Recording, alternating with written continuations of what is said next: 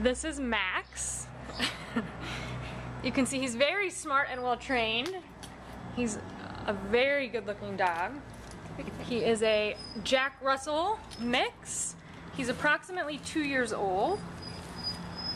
Max was turned into us because according to the former guardian, they were going to be traveling a lot. So that's how Max ended up with Animal Friends of the Valleys.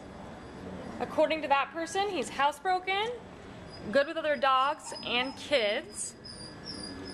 He's neutered and up to date on rabies. Good boy, Max. He's a sweet dog. We can confirm that he's good with other dogs of all kinds. You can see he has a buddy here right now.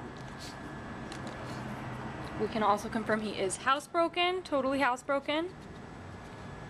We're reaching out to our rescue partners because Max can become a little bit protective and can be snappy at people.